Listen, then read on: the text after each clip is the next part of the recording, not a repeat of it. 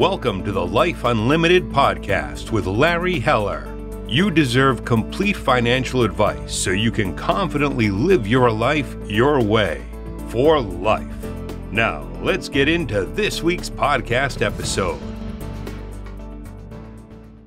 Hello and welcome to another Life Unlimited podcast with Larry Heller. Today, Larry's going to interview Jerome Myers, a premier coach who works with NEOs, newly exited operators, business owners who've just sold their practice and are having an existential crisis. Larry, take it away. Thanks for that intro, Matt. Uh, Jerome, what what is the founder's founder exit paradox? Man, it's the way we describe it is is all the feelings that you would get when you have an existential crisis, but it's brought on by something that is considered a major achievement. So think selling your business, think um, whatever major accomplishment, retirement, whatever you're you may be going through in a way that everybody sees you and thinks, oh man, everything is great, everything should be good. But on the inside, you're having questions, you're having doubt, you're struggling with why you don't feel like everything is great. is, is this occurring when you're saying occurs after the founder has sold the business?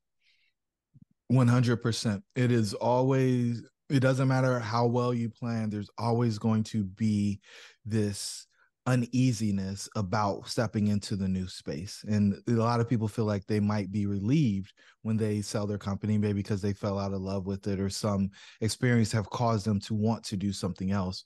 But we found that there's always this experience that we call the founder's exit paradox, where they're questioning whether or not they made the right decision and a bunch of other things when uh, post exit. Okay. And and there are what eight eight exits of a of a founder. What what are what are they? Yeah, so the first exit is when someone stops being an employee. For a lot of people, that's leaving corporate America. We call that breaking the golden handcuffs. From there, you exit from being the chief everything officer. And so a lot of folks say, Hey, I'm the CEO. But when you think of a CEO, they usually have folks reporting to them. But when most people go and begin their new venture, they're everything. They got to do everything from going to Office Depot to get the paper to delivering the products that they sold to people and a lot of times billing it. And so the next exit is getting out of that space so that you actually have become the production manager where you have people doing the things for you on a daily basis. And so then the next exit happens when you start hiring people that can do the jobs better than you can. And this is when you truly become a CEO. And so you have somebody who is managing the workers who are doing the work. The other way I like to say it is things get done without you having to tell people to get them done. Mm-hmm. And exit four is when you fire yourself from being the CEO. And usually this person is seen as the owner of the company. And so while you may have owned the company before, you were the owner, the employee, the copy maker, and insert whatever other tasks needed to be done. Now, when you fire yourself from being CEO, uh, the person who is the CEO actually reports into you and you can make those strategic decisions.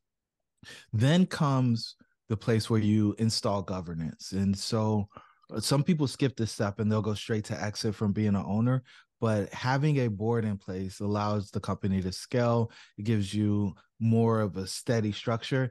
And this is a place where we have seen people unravel or disconnect their identity from the business. Right as the ceo or as the owner you spend 15 20 25 years building a thing. Your name is synonymous with the business in a, a lot of instances. And so when you become chairman of the board, it's your ability to step back and then to see the business as a product. The ability to see your business as a product is one of the biggest differentiators that we've seen in people who have a really hard time post exit and the folks that don't. Then there's actually go ahead. You want to Yeah, what do you mean by by product? So a, when you when most people think about their business they think about the thing that their business sells as the product. When you become the chairman of the board the business is the actual product. So you can buy and sell businesses. The mindset that you can buy and sell businesses and the businesses are the product that you buy and sell versus the products that the business sell being the things that you buy and sell is a is a mind shift. It's a change. It's a shift that makes the difference between the person who i think really falls into a deep hole mm-hmm. post sell because the way that i've best heard it described is it's like losing a child okay. right? Like they put their heart and soul into it. And this is something very different from that. It's, so I got a I got a few things to unwrap, but let's when you finish the there's one more exit that yeah. The, so exit six, actually two more. So two exit more, okay. six is when you actually exit the business, and so you're you're chairman of the board, and you you decide we're going to sh- sell the business as a whole, and so the whole business is gone now, and you've got this financial windfall. Um, some people might liken it to winning the lottery. And so you've got all of this money. So what do you do with it now? And people will do a bunch of different things. The thing that I think is probably been most advantageous is instead of trying to figure out how to make the nest egg last, they invest it in other businesses so that they generate income. They generate cash flow from the the asset that they got from unlocking the value of their business. Mm-hmm. And then the last one, when they have the cash flow thing figured out, hopefully they still have the nest egg they can start doing the philanthropic things that will make their life significant in a grand way. I think so many people chase financial freedom and they forget that there's more to it than that. Mm-hmm. They think financial freedom is the F they should be chasing or uh, pursuing, but fulfillment is. And the only way that I've found that you can find fulfillment is through positively impacting the lives of other people. And so exit eight is mm-hmm. building the whatever the philanthropic vehicle is for you in order to impact the lives of other people and set it up in a way where it will live on past you. Okay. Uh, yeah. So let's talk about some of that because I've been through this with a lot of clients. I'm, I have a little bit of a different tilt on it for for some people uh, but cool. are, and are you focusing more in on ceos of of larger corporations or this could be for someone that started a small business or even a business like myself which is named after me? Is it the same for all the different types of businesses? I haven't found that it varies whether you've got a hundred thousand dollar company or a hundred million dollar company or a billion dollar company. Like the only thing that I think has a big um, difference or impact on it is how long they've been doing it. Mm-hmm. Somebody who's been in something for less than five years has less of an attachment to it than when they've been doing it for 20, 25 years. Right. So um, we actually send a um, a book from a coach called um, um, uh, Retirement Heaven um, that addresses a lot of the similar things that you've addressed there. And one of the things that they addressed in there, it, it doesn't happen actually um, immediately. Uh, immediately, they've got all these other things they're playing golf or traveling and doing that. And this feeling doesn't come about for sometimes years later. Is do you find that to be the case, or you think most of it happens um, pretty quickly? So I think the honeymoon phase post exit varies very pretty drastically. It's you know from a couple of days to maybe a couple of years. But what I found in the folks that we've worked with is that it's all about if they had it planned out. If they don't have hobbies, if they don't have uh, identity outside of the position, when the position is gone, it happens almost immediately for the folks who've got relationships with friends and they've got this bucket list of things they want to accomplish and they've had this list of things they wanted to buy and now they can buy the things and they want to enjoy the things those folks spend a little more time enjoying the exit success. But there always comes a point regardless of who the person is where they want to do something where they know for a fact that their life matters. Right. they want to know that people are going to fight over the opportunity to carry their casket yeah, I, yeah, I, I don't. We've had um, a lot of these a lot of these either corporate executives with years of experience or business owners uh, and we obviously plan for the the financial and the cash flow and all that is taken care of and they have all these dreams and they and they and their goals and some of them uh, some of them have been retired for seven eight nine years and have transitioned greatly um, and the ones that have transitioned greatly are the ones that had plans or had some other activities and knew that was going to happen. We have a, a client that had spent, I think, almost 40 years at a major at a major bank. So it's a personal friend. Um, and he he had a consulting business um, set up, not because he really needed the the money, but he wanted to stay, you know, connected, um, have mm-hmm. some type of purpose is what we're we're doing. So I agree with you a, a, lot on this and the question is how can you pre- better pre- you know better prepare for you know for that this time yeah one is knowing that you're going to go through the six centers of doubt on the backside of it because at the end of the day you are stepping into a new world this is a new phase of your life and all of the other experiences that have happened are great but unless you figure out how they fit into the next thing because you've got to answer the question what's next? What's next? The beach the golf course uh, driving cars backpacking through europe walking the appalachian trail like those things are only going to last for so long at the end of the day if you've built something big if you've been at the helm of something big you're going to want to build or create something else now where you channel that energy I think is a question that all of us probably need a little bit of help getting answers to, especially when you want to mix it in with all the things that you've done in the past. Right. So can you can you share an experience or a client experience where you've kind of worked with somebody who's gone through this and some of the steps that you've you've you've done to to to make it happen? Yeah, and so our process is the same for everybody because they everybody wants the individualized attention and then they want to walk away with a plan on what to do next. And so what we do is we bring folks in for a two hour interview. And in that interview we touch on six the six areas that we deem are important for uh, a centered life. And so the stay tuned for a special offer to our podcast listeners Hi everyone, Matt Halloran here. So I wanted to let you know about something really special that Larry is offering his Life Unlimited listeners. Okay, so you're probably familiar with the concept of resilience, right? Resilience is the ability to endure adversity or recover from difficult situations. And well, Larry is a master of what we call financial resilience. And together with his team at Heller Wealth Management in New York, he has created a financial resilience assessment that can tell you how well your personal finances will withstand some of the challenges in life or the financial markets may throw at you.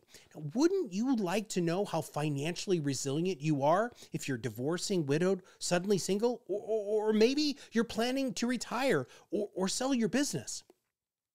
In about 20 minutes, Larry Heller and his team of certified financial planners will give you a personalized financial resilience scorecard that identifies both your financial blind spots and your strengths as well. Listen, you're not going to be disappointed, and I am certain that your future self will thank you for it. Request yours now at hellerwealthmanagement.com forward slash unlimited. That's Heller Wealth Management, H E L L E R, wealthmanagement.com forward slash unlimited, which is all one word. Okay. And now back to our podcast. And in that interview, we touch on six the six areas that we deem are important for uh, a centered life. And so the first one is self-image, next is relationship, then work, health, prosperity, and significance. We do the and we believe that those move in order. So when working on your self-image we want to understand all of we, we want the comprehensive set of data so that we understand exactly how they got to the place that they are, the things that anchor their identity, the things that they feel are superpowers, the way that they interact with other people. And so as we go through the interview, we're teasing out answers to these questions so that we can formulate it, review it, analyze it, and then come back and present a report to them that gives them a strategy for what we believe is next, a strategy to eliminate the friction to accomplishing it, the giving the way that I describe it, Larry, is it's really hard to read the jar when you're inside of read the label on the jar when you're inside the jar. And so giving them this third party perspective, I think gives them some clarity that they may be missing because they've been so close to it. Right. So, so yeah, yeah, so but without without naming a client, I mean, for just the our audience can kind of get an experience, can you what is there something that pops up for somebody that was in a position and some of the strategies that you were able to put in place? Yeah, I'm let me think about one that wouldn't be easily identifiable. Um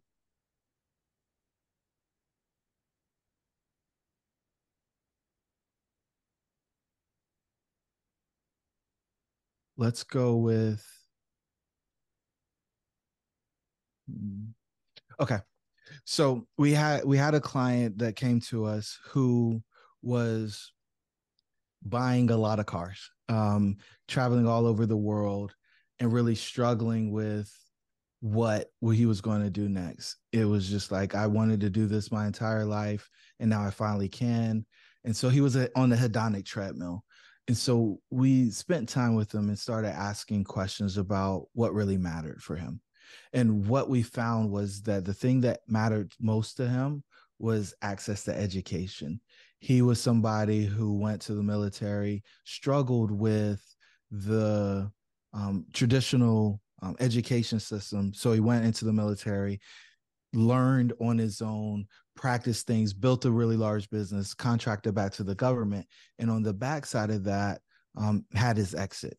When he got to this place, he realized that the doors that he wanted to open were for folks who didn't really fit into the education system as the majority of people go through.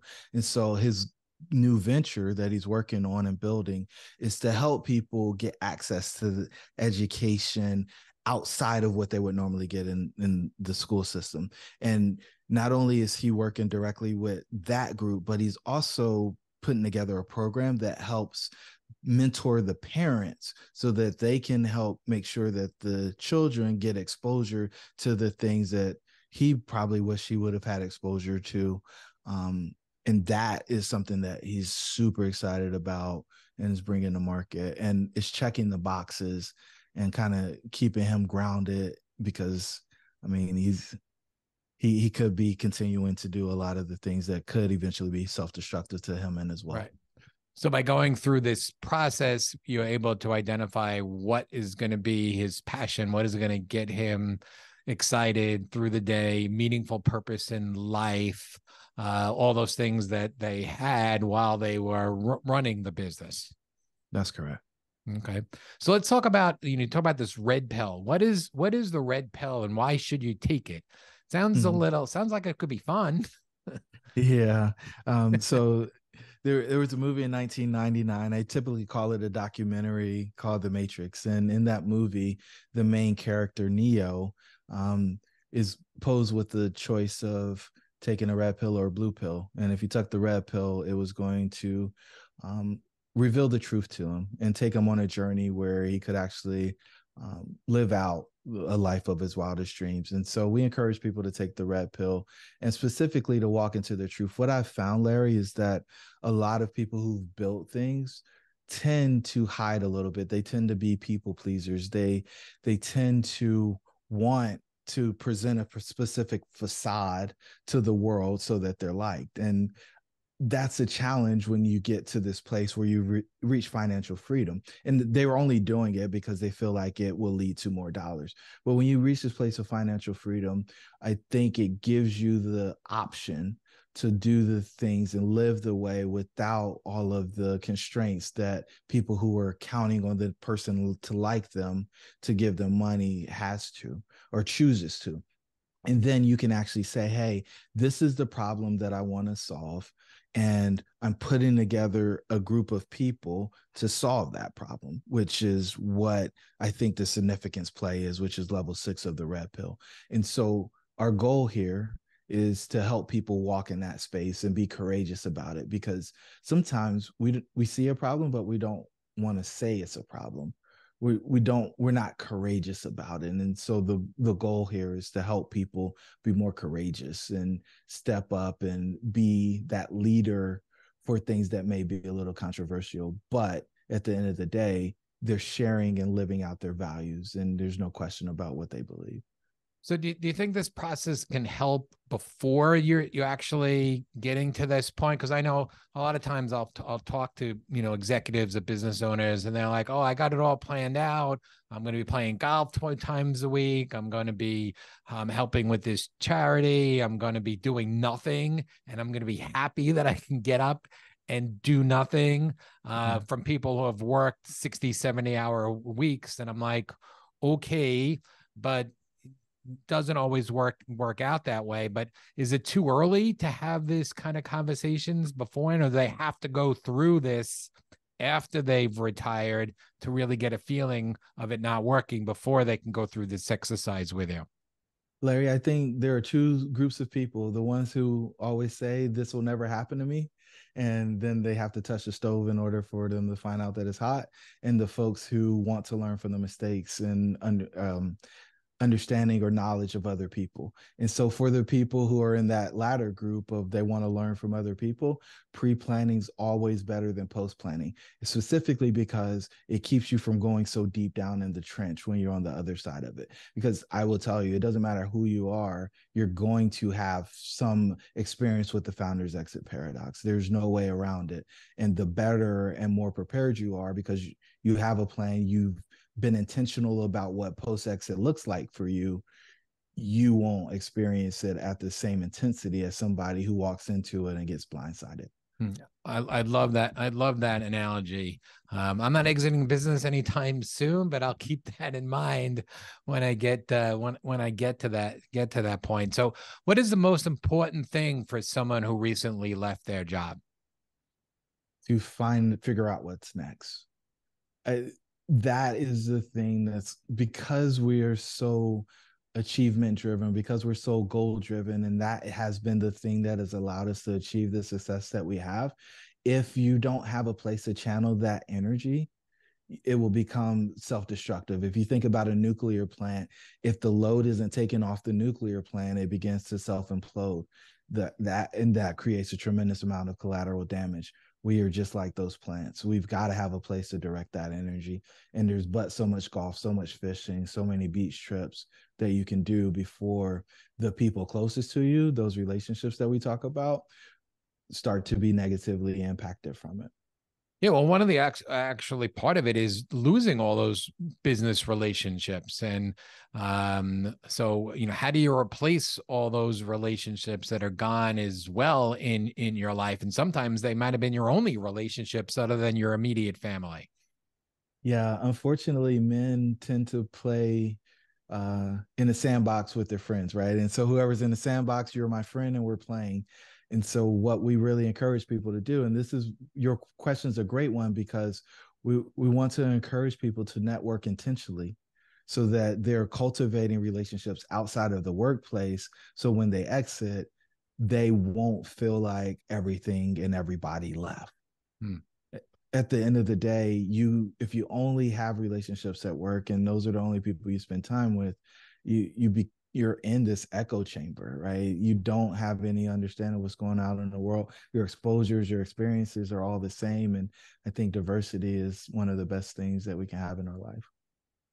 Yeah, absolutely. I mean, we're lucky enough that we, we do all the financial planning for them and put everything together. And most of them can figure out you know they have more than enough money to, to to live. They could do some charity things but trying to get figuring out the purpose the emotions what's going to you say next? I mean figuring out what's what's next and especially people are living longer living healthier living longer Um, and if they if they're retiring earlier, they got a, a long time in front of them.